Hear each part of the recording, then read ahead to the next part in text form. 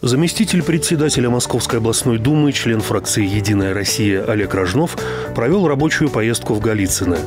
В рамках визита он посетил Голицынский медицинский колледж, который начал работать в городе в прошлом году при содействии парламентария, и подарил учреждению подарки от Мособлдумы.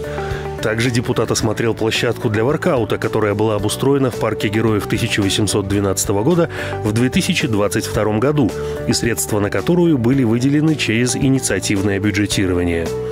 В рамках поездки Олег Рожнов проверил реализацию проекта инициативного бюджетирования и в детском саду номер 62, дошкольном отделении второй Голицынской школы.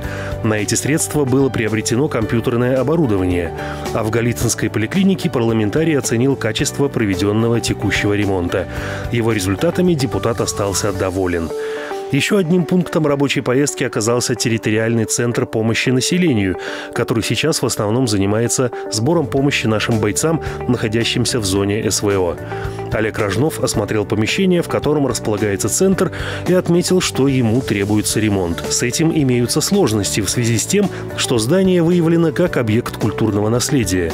Будем связываться с балансодержателем, постараемся в данном вопросе помочь, сказал зампред Мособлдумы.